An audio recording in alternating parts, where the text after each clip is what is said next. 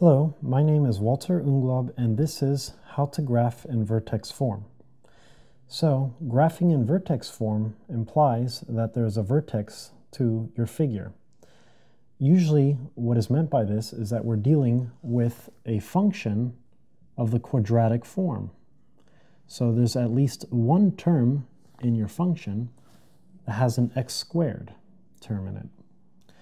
So the general form of a quadratic function, I'll write as a, where a is some parameter, times x minus b squared, where b is also a parameter, plus c. a represents by how much you stretch your graph in the vertical direction.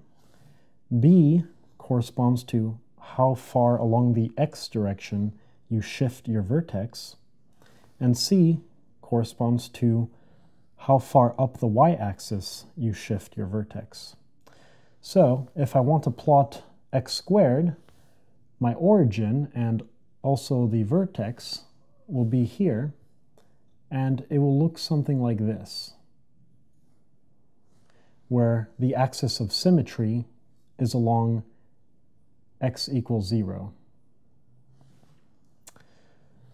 For this example, a more general example, I can consider a is equal to 1, b is equal to 3, and c is equal to 2. So if a is equal to 1, which is the case here, then there's going to be no stretching involved. If b is equal to 3, then my vertex, which was originally at the origin, is going to be moved over to the right three places. And my C means that I'm going to shift my vertex up in the vertical direction by two points. So I'm essentially going to have x squared just in this location. And again, I'm going to have an axis of symmetry, where in this case, the axis of symmetry is x is equal to 3.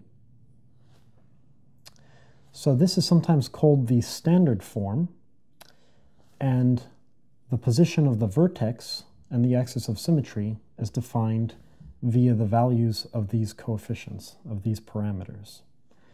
My name is Walter Unglaub, and this is How to Graph in Vertex Form.